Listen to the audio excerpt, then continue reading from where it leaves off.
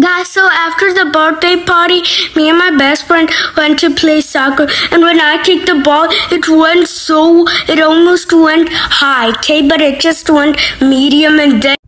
And then after I did the, hmm, I just backed up because I need the person that's gonna come dribbling because I, because man, my friend was planning that if he goes right, I go that side, and if he goes, and then, oh my gosh, my friend saved it. Okay, it was about to be a goal.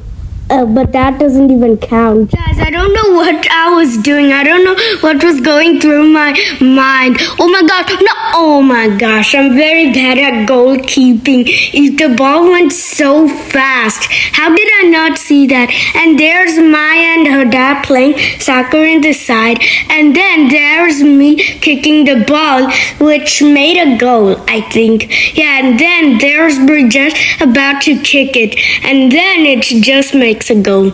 See, I'm very bad at goalkeeping.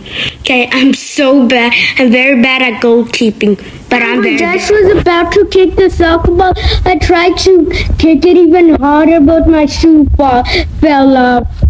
Then Jaden, then then Jaden saved it. Then when Jaden was about to kick, Maya and her dad were just playing soccer in the side.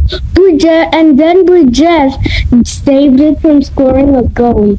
I was on defense, and then and then I was well, then I wanted to kick the ball, but then it was Bridget's turn. Then when Bridget was about to kick it, I thought I thought it wasn't gonna go that high, but it made a goal.